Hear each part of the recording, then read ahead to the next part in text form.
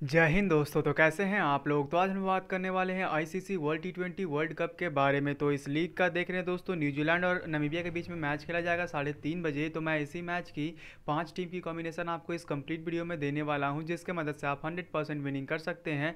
Head to head SL और GL में कोई भी फैंटेसी ऐप में वो छोटा बड़ा हो कोई भी फैंटेसी ऐप हो दोस्तों वहाँ पर आप जीत सकते हैं। तो पूरी वीडियो में बने रहेंगे पाँचों टीमों को अच्छे से देखेंगे अगर जीतना चाहते हैं तो, तो जीत जाएँगे दोस्तों हंड्रेड अगर पाँचों टीम आप अच्छे से लगा लगा।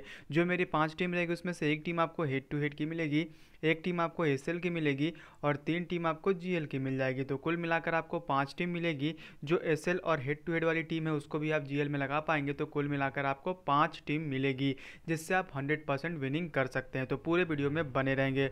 और साथ ही साथ दोस्तों, अगर हमारे चैनल में आप पहली बार आए होंगे, अगर रेगुलर जीतना चाहते हैं हंड्रेड परसेंट विनिंग के साथ तो दोस्तों, हमारे चैनल को सब्सक्राइब भी कर लेंगे और साथ ही बेलाइकन भी ज़रूर दबा लेंगे। नीचे डिस्क्रिप्शन में टेलीग्राम ग्रुप और इंस्टाग्राम ग्रुप का लिंक होगा तो वहाँ पर जुड़ जाएँगे आपको फर्दर फ़ायदे के लिए और फर्दर अपडेट के लिए। तो ज़रूर जुड़ेंगे दोस्तों वहाँ पर क्योंकि आपको जीतना बहुत ही ज़रूरी है।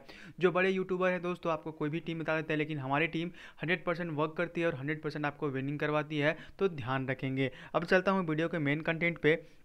जो आपको जिता सकती है, जो मेरी पाँच टीम की कॉम्बिनेशन है, उसको मैं दिखा देता हूँ। तो ये मेरी पहली टीम की कॉम्बिनेशन है, जिसको मैंने हेड टू हेड के लिए डिज़ाइन किया है। इस टीम में देख रहे हैं दोस्तों, मैंने न्यूजीलैंड को फेवर करके टीम बनाया है।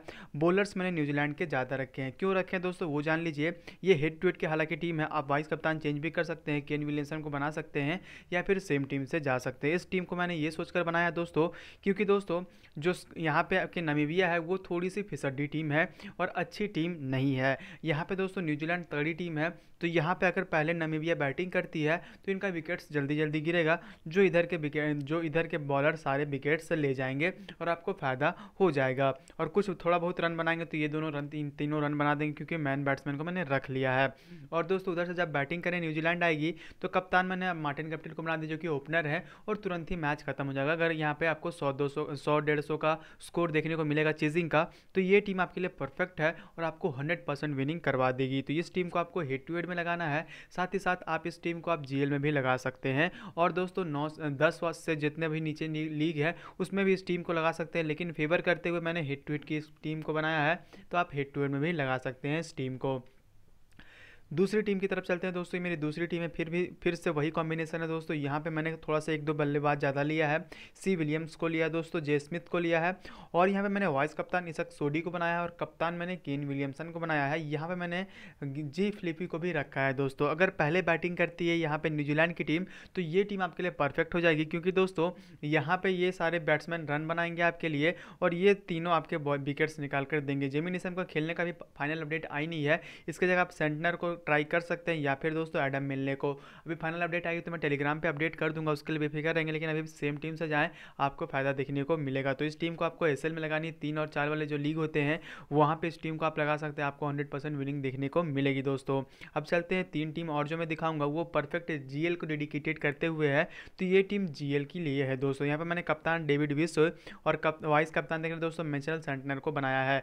यहाँ पे थोड़ा सा मैंने एक बैट्समैन ज़्यादा लिया है जे ग्रीन को लिया है दोस्तों। डी कॉनवे की जगह। अगर दोनों ही ओपनर बल्लेबाजी करेंगे अच्छी खासी और थोड़ा जल्दी विकेट गिरता है तो थोड़ा यहाँ पे डी में चला जाएँगे पहले बैटिंग करने, क्योंकि ये ताबड़तोड़ बैटिंग करते हैं।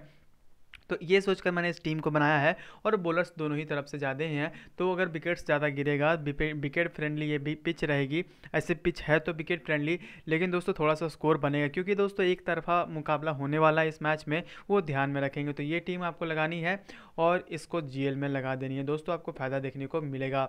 अब चलते हैं। परफेक्ट जीएल की टीम बहुत ही ज़्यादा रिस्की टीम है। मैंने कप्तान देख रहे दोस्तों जे फ्रिंगलिंग और जे स्मिथ को मैंने वाइस कप्तान बनाया है। आप दोस्तों अगर रिस्क नहीं लेना चाहते तो डी कॉन्वे को वाइस कप्तान बना सकते हैं, या फिर दोस्तों डी मिचल को बना सकते हैं, या फिर टीम सऊदी को इसको भी ट्राई कर सकते हैं, या फिर सेम टीम से भी जा सकते हैं।